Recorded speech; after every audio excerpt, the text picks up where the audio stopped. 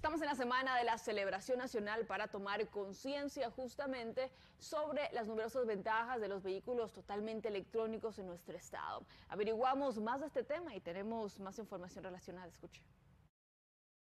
A veces le puede dar un poco de reservación a uno decir, pues yo no sé mucho de esto, ¿no?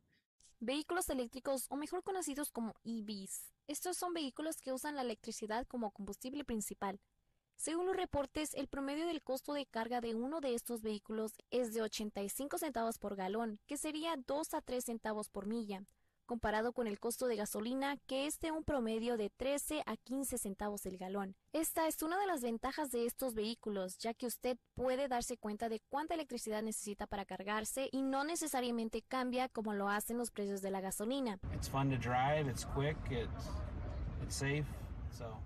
Es divertido conducir, es rápido y es seguro, nos dijo un usuario de estos vehículos. Es menos complejo que un carro de gasolina, de combustible, ah, porque no hay motor. Ya que los eh, carros eléctricos reemplazan el motor con baterías, el portavoz nos explica que los usuarios se podrían ahorrar en mantenimiento aproximadamente 330 dólares que sería menos que un vehículo con motor.